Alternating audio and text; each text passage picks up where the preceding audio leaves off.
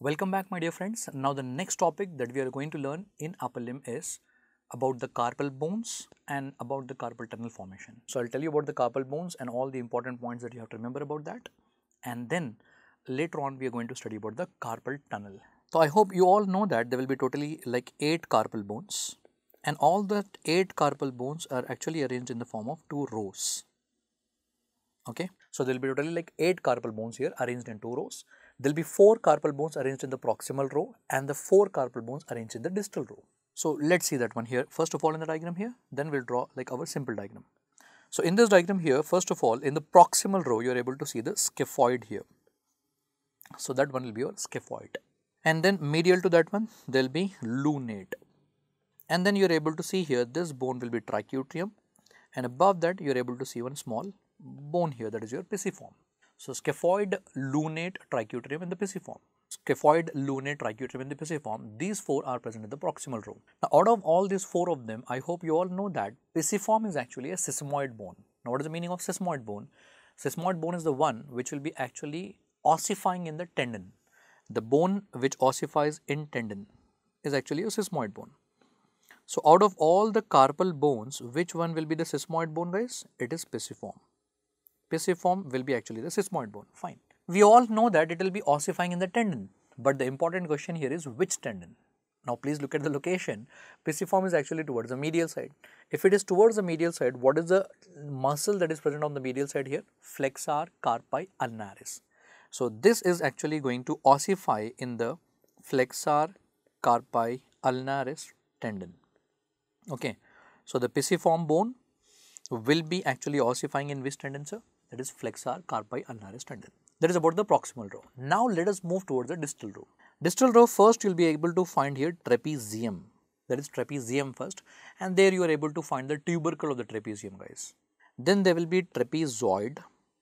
Then the largest one out of all of them will be the capitate. You can clearly see there that is capitate and then this will be the hamate and you are able to appreciate the hook of the hamate there. So, I think all the medical student remembers that very well from first year MBBS days with the help of a mnemonic. She looks too pretty, try to catch her. And scaphoid, lunate, triquetrum, pisiform, trapezium, trapezoid, capitate and hamate. All these are your 8 carpal bones guys. After that you will be having your metacarpals and followed by that you will be having phalanges.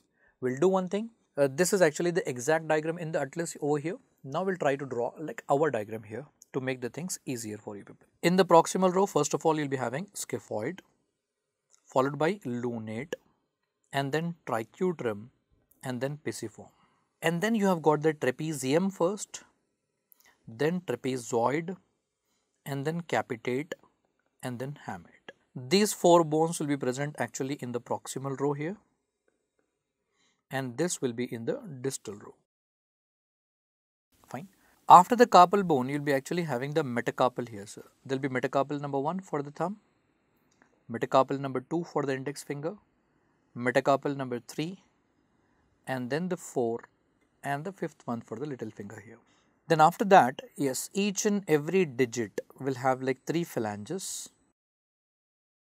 Each and every digit will be having like 3 phalanges here except for the thumb. Thumb will be actually having only 2 phalanges. So, this is just a simple line diagram, a block diagram to understand guys, the arrangement of all the bones in the hand.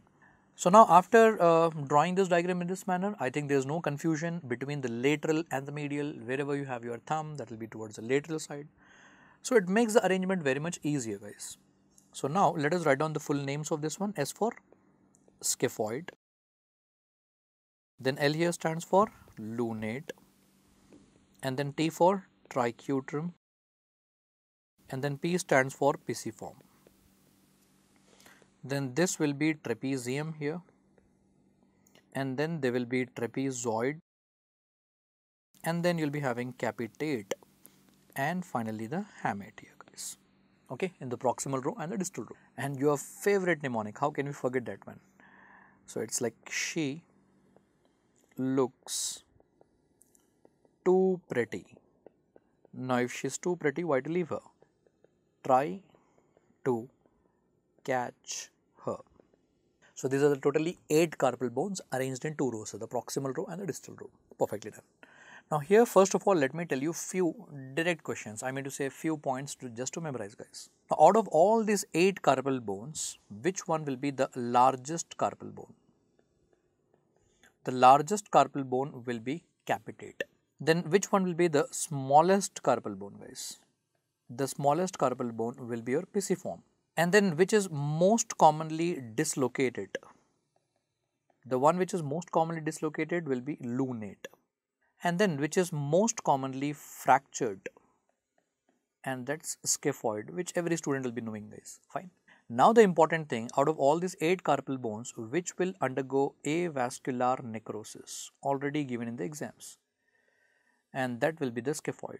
Scaphoid is the bone is the carpal bone which will undergo avascular necrosis. And not only that in your PG exams they have even given a question where avascular necrosis we already know scaphoid but they're even asking in depth which part of that one. Will it be like proximal part of the scaphoid or distal part of the scaphoid? So please remember it will be the proximal part. Proximal part of the scaphoid. And then lastly the one which we already have discussed out of all the eight carpal bones which will be the sesamoid bone and that sesamoid bone will be pisiform and it is going to ossify in the tendon of flexor carpi ulnaris. So, these are like certain direct questions that I want you all to you know just memorize. Why? Because these will be just slipped in in between the questions guys. Okay. So, which is the largest one that is capitate, the smallest pisiform, most commonly dislocated lunate, most commonly fractured scaphoid, avascular necrosis, proximal part of the scaphoid and then finally which is the sesamoid bone that is your pisiform. Perfectly done. Now, once you have understood the arrangement of this one guys, now let us try to understand like how will be the carpal tunnel, uh, like carpal tunnel and how are the structures arranged inside the carpal tunnel and how it is formed. Now guys, if you observe all these 8 carpal bones over here, if you are able to observe these 8 carpal bones over here, all these 8 carpal bones are not arranged straight here guys. If you are observing properly here, there will be actually a concavity in the front here. There will be a concavity here. To understand that more clearly, you can just do one thing. Just cut it transversely from here. And after cutting it transversely you can just observe from here. So, if you see there all your carpal bones are actually arranged in the form of a arch. There is nothing but the carpal arch. And suppose if this is like your carpal arch here cover that with the retinaculum. That is your flexor retinaculum. And this is no more like an arch now. Now it becomes like a tunnel and this tunnel is referred to as carpal tunnel. Let me show you one picture here this is what is the flexor retinaculum guys. So, you can see here on the lateral side you will be actually able to see the hamate here, the hook of the hamate and this is the pisiform. And on the medial side there will be hamate and pisiform. And on the lateral side you are able to see the trapezium and this one will be the scaphoid. Trapezium and the scaphoid. And in between them you are able to appreciate one retinaculum here that is your flexor retinaculum. And because of this flexor retinaculum here what is going to happen? Yes, it is going to become like a tunnel here and this tunnel is referred to as your carpal tunnel carpal tunnel guys fine. So, let us now do one thing let us take a transverse section of this one and then let us see which structures are going to go superficial to the flexor retinaculum and which are going deep to the flexor retinaculum guys. So, basically now we are actually going to study about what? We are going to learn about the carpal tunnel now. Carpal tunnel. Imagine that this one here will be the trapezium bone here, fine and this one here will be the trapezoid and then the capitate and then finally here will be the hamate trapezium, trapezoid and this one here will be the capitate and then the hamate. Now in the hamate you will be actually having the hook of the hamate and the trapezium will be having the tubercle of the trapezium. But believe me you do not have to worry about all those things guys. So, do not try to waste your time in learning about all those silly silly things like hook of the hamate and tubercle of the trapezium, they will never ask you in the exams. So, just learn about the trapezium and the hamate bone, name of the bone at least, more than enough. Now, these are actually arranged in the form of an arch here. Now, this arch we are actually going to close here with the help of a retinaculum and this retinaculum is referred to as flexor retinaculum. So, what is this retinaculum here sir? Flexor retinaculum. flexor retinaculum. Perfect. And now whatever you are able to see below that you are able to see like a tunnel there and that tunnel is actually referred to as your carpal tunnel guys. That is our actual topic right now that is carpal tunnel. But sir what is the thing that we have to study here? See, whenever you have a flexor retinaculum, there are certain structures which are going like superficial to flexor retinaculum and there are certain structures going deep to flexor retinaculum. Superficial and certain structures are going deep to flexor retinaculum. So, we got to learn like which structures are moving superficial and which structures are going deep to the flexor retinaculum guys. So, already we have discussed that there will be a nerve which is passing superficial here. That will be your ulnar nerve. Fine. So, if the flexor retinaculum is present here, ulnar nerve is the one which is going superficial, whereas median nerve is the one which is going deep to flexor retinaculum. So, somewhere here will be your median nerve. And along with the ulnar nerve, you also have the artery here, that will be your ulnar artery. Ulnar artery there, okay. Fine and then there will be like only and only one tendon which will be passing superficial to flexor retinaculum and that tendon will be palmaris longus tendon and we have discussed about that one guys. Palmaris longus tendon is the one which will come here and get inserted into the flexor retinaculum superficial surface of flexor retinaculum only guys fine. So, let us just write down the names of all these structures here. So, what is this nerve which is going superficial here? That is your ulnar nerve. And then there will be one artery which is going from here sir. This one will be the ulnar artery. And then there will be one tendon here. This tendon will be the palmaris longus tendon. Palmaris longus tendon.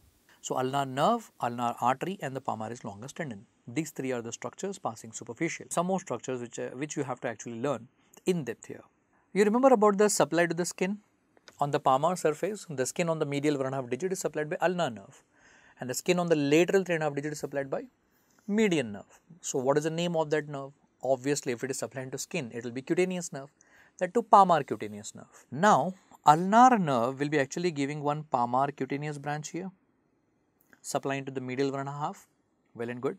But median nerve, we have already discussed, even though median nerve is going to pass deep to flexor retinaculum, but the palmar cutaneous branch given by the median nerve is going superficial to that one. The palmar cutaneous branch is going actually superficial to that one guys. So, here will be the palmar cutaneous branch will be the of the median nerve. So, this one here will be the palmar cutaneous branch of ulnar nerve and this one here will be the palmar cutaneous branch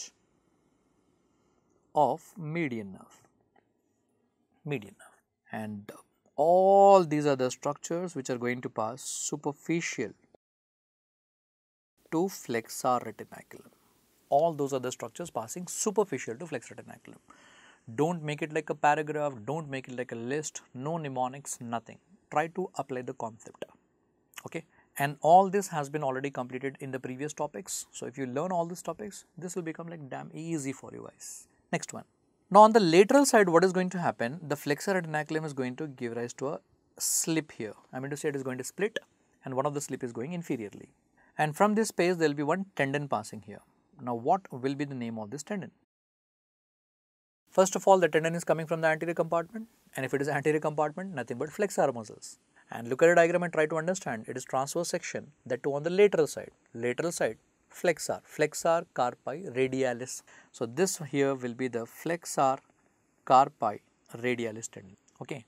And the importance of this one is it is neither passing superficial to flexor retinaculum or it is neither passing deep to flexor retinaculum, it is going through the flexor retinaculum. So, that is something important regarding this FCR. It is through flexor retinaculum. So, it is neither superficial to the flexor retinaculum nor deep to that one guys, it is actually going through the flexor retinaculum. Perfectly done. Now, the last and final thing is what are the structures passing deep to that one? Again the same thing try to recall the muscles. In the anterior compartment you will be having flexor digitorum muscles. The flexor digitorum muscle, the tendon will go here, divide into four tendons and insert into the fingers or the digits here, the flexor digitorum. Now that flexor digitorum will be of two types, one will be like FDS, another one will be FDP flexor digitorum superficialis and flexor digitorum profundus. So, when I am taking a section here, obviously I have to find like 4 tendons above and the 4 tendons below there, the FDS and FDP guys. So, you will be able to find the 4 tendons of FDS above and then there will be 4 tendons of FDP below like this here. So, this will be the flexor digitorum superficialis and this here will be the flexor digitorum profundus. FDP. Then the next thing, without any doubt, what is the name of this nerve guys, which is going to pass through the carpal tunnel? That's the median nerve. That's the median nerve. And finally, one more tendon is passing here. Now, where is the tendon going? That tendon is passing here from here and going to your thumb and it is coming from the anterior compartment, flexor. So, it is flexor pollicis and it is a long one, flexor pollicis longus, flexor pollicis longus tendon. Okay.